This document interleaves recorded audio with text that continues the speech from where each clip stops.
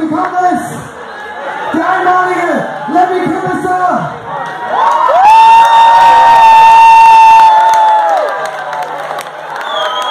Whoa. Well, Oh, you finally getting them.